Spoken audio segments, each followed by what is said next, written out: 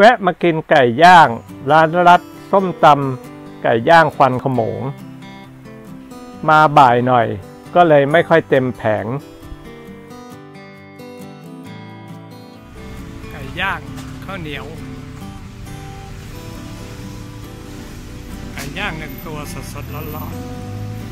ๆน่ากินมาก ในที่สุดเราก็ตามหา ร้านไก่ย่างจนพบ